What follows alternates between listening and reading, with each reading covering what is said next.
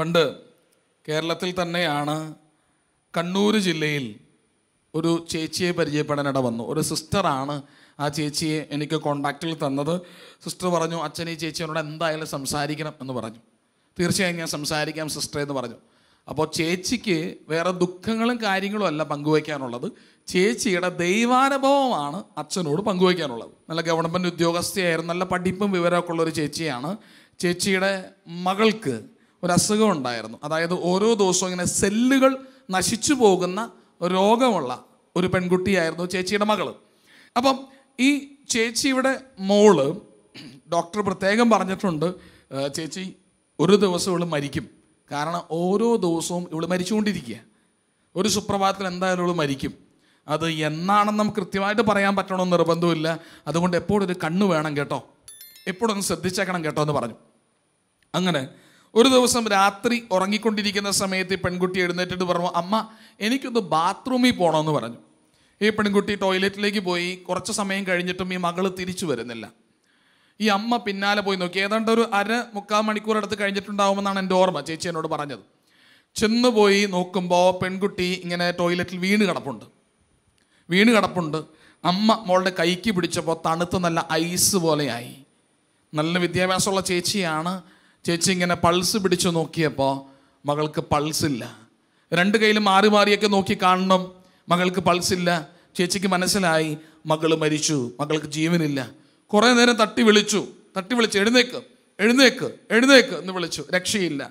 പ്രാർത്ഥിച്ചു കഴിഞ്ഞതിന് ശേഷം ഏതാണ്ട് ഒരു മണിക്കൂർ അടുത്ത് ഞാൻ പ്രാർത്ഥിച്ച നിലവിളിച്ച് കണ്ണുനീരോടുകൂടെ ഞാൻ പ്രാർത്ഥിച്ചു. പക്ഷെ എനിക്ക് മറുപടി ഒന്നും ഉണ്ടായില്ല. എന്റെ വാശി ഒന്ന് മാത്രമാണ്. എന്റെ വാശി ഒന്ന് മാത്രം എന്റെ മകൾ എന്റെ മകൾ ടോയ്ലറ്റിൽ നിന്ന് അമ്മേ എന്ന് വിളിച്ച് എന്റെ അടുത്തേക്ക് വരണം. എന്റെ മകൾ കക്കൂസിൽ നിന്ന് അമ്മേ എന്ന് വിളിച്ച് എന്റെ അടുത്തേക്ക് വരണം. ഈ ഒരു വാശിപ്പുറത്താണ് ചേച്ചി പ്രാർത്ഥിച്ചുകൊണ്ടിരിക്കുന്നത് ദൈവത്തോട്. ഒരു മണിക്കൂർ കഴിഞ്ഞു.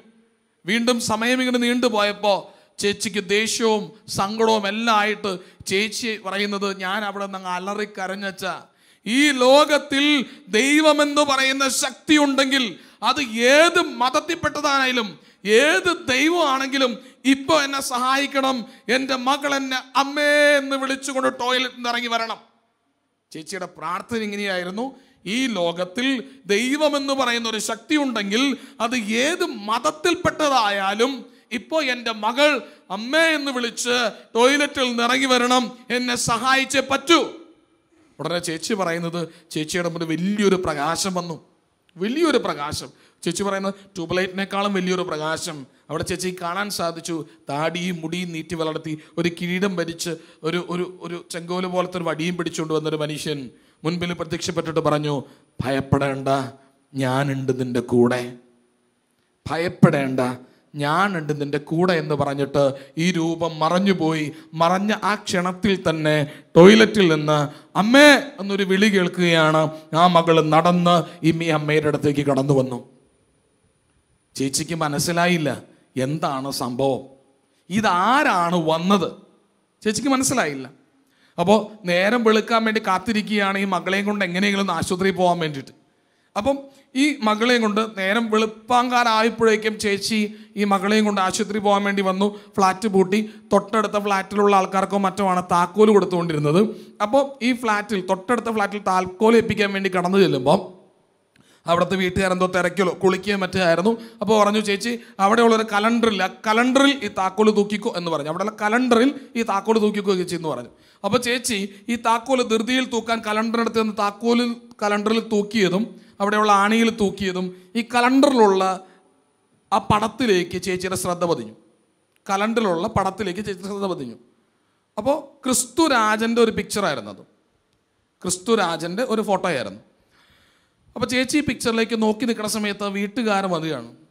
ചോദിച്ചു ആ പോയില്ല ഇതുവരെ? അല്ല ഇതാരാ? ഇതാരാ? ഇത് ഞങ്ങളുടെ ക്രിസ്ത്യാനികളുടെ ദൈവമാണ്. ഈശോയാണത്. ഇദ്ദേഹം ഇന്ന് വെളുപ്പിന് എന്റെ അടുത്ത് വന്നായിരുന്നു. അപ്പോൾ ക്രിസ്ത്യാനി പറഞ്ഞ മറുപടി പറഞ്ഞെന്താണെന്നറിയാവോ ഏയ് അത് ചേച്ചിക്ക് വെറുതെ തോന്നിയതാ. ചുമ്മാ. അങ്ങനെയൊന്നും പുള്ളി വരത്തില്ലാന്നേ. അങ്ങനെയൊന്നും പുള്ളി വരത്തില്ല. ചേച്ചിക്ക് വെറുതെ തോന്നിയതാ. ഇല്ല ഈ വ്യക്തി ഇതേ രൂപം ഇതേ ആൾ എന്റെ മുൻപിൽ വന്നായിരുന്നു. എന്റെ മകളെ സുഖപ്പെടുത്തിയിട്ടാ പോയത്. ഭയപ്പെടേണ്ട കൂടെയുണ്ടെന്ന് പറഞ്ഞിട്ടാ പോയത്.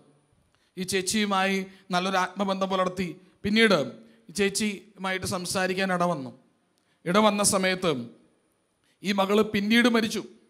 രോഗത്തിൽ നിന്ന് മകൾക്ക് കർത്താവ് സൗഖ്യം കൊടുത്തില്ല. പകരം ഈ ചേച്ചിയോട് സംസാരിച്ചു കൊണ്ടിരുന്നു മോളെ നിന്റെ മോളെ ഞാൻ കൊണ്ടുപോകും. അവളെ എനിക്ക് വേണം. നീ അവളെ എനിക്ക് തന്നേക്ക്. ഞാൻ കൊണ്ടുപോകും. എന്നിട്ട് ഈ മകൾ മരിച്ചു. ചേച്ചി പറയാ മകൾ മരിച്ചപ്പോൾ സ്വാഭാവികമായി ഒരു അമ്മയ്ക്കുണ്ടാകുന്ന വിഷമം എനിക്കുണ്ടായച്ചാ പക്ഷെ അതിനപ്പുറമായി എന്റെ കർത്താവ് എന്നോട് പറഞ്ഞായിരുന്നു ഞാൻ കൊണ്ടുപോകും. എന്നെ ഒരുക്കിയിട്ടാണ് അച്ഛ അവളെ കൊണ്ടുപോയത്. ചേച്ചി ഞാൻ അല്പസമയം സംസാരിച്ചു. കുറച്ചുകൂടി കാര്യങ്ങൾ പങ്കുവച്ചപ്പോൾ പരിശുദ്ധാത്മാവിന്റെ ഒരു പ്രേരണ ലഭിച്ച് ചേച്ചിയോട് ചോദിക്കാനിട വന്നു. ചേച്ചി ഈശോയ്ക്ക് ചേച്ചിയെ സുഖപ്പെടുത്താൻ പറ്റുമോ ചേച്ചി പറഞ്ഞു പറ്റും. ഈശോയ്ക്ക് തടസ്സം മാറ്റാൻ പറ്റുമോ പറ്റും. ഈശോ വിചാരിച്ച എന്തും നടക്കുമോ നടക്കും. ഇപ്പോൾ ചേച്ചി അനുഭവിക്കുന്ന ഒരു ദുഃഖം ചേച്ചി എന്നോട് പങ്കുവച്ചായിരുന്നു. ഈ ദുഃഖം മാറുന്നില്ലെങ്കിലോ? അച്ഛൻ എന്താ അച്ഛൻ ഉദ്ദേശിച്ചത് ചേച്ചി ഞാൻ റിപ്പീറ്റ് ചെയ്യാണ്. ഈശോ വിചാരിച്ചാൽ രോഗം മാറ്റാൻ പറ്റുമോ മാറ്റാൻ പറ്റും. ഈശോ വിചാരിച്ചാൽ ദുഃഖം മാറ്റാൻ പറ്റുമോ? ദുഃഖം മാറ്റാൻ പറ്റും. ഇപ്പോൾ ഈ ദുഃഖം ഇതുവരെ മാറുന്നില്ലെങ്കിൽ എന്തായിരിക്കും കാരണം? ഈശോ ഇപ്പോൾ വിചാരിക്കുന്നില്ല. ഈശോ പറയുന്നു ഞാനത് ഇരുന്നോട്ടെ എന്ന് പറഞ്ഞ് വെച്ചിരിക്കുന്നതാണ്. അവിടെ ഇരുന്നോട്ടെ എന്ന് പറഞ്ഞ് ഞാൻ വെച്ചിരിക്കുന്നതാണ്. വേണമെന്ന് വെച്ചാൽ ഈശോയ്ക്ക് വേണമെങ്കിൽ അത് മാറ്റാം. പക്ഷെ അത് വേണ്ട എന്ന് കരുതി ഈശോ അവിടെ വെച്ചിരിക്കുന്നതാണ്. അപ്പം ചേച്ചി പറഞ്ഞു സന്തോഷമായച്ച എന്റെ കർത്താവിന്റെ തീരുമാനം അതാണെങ്കിൽ ഞാനത് അംഗീകരിക്കുന്നു. എന്റെ ഈശോയുടെ തീരുമാനം അതാണെങ്കിൽ ഞാനത് അംഗീകരിക്കുന്നു.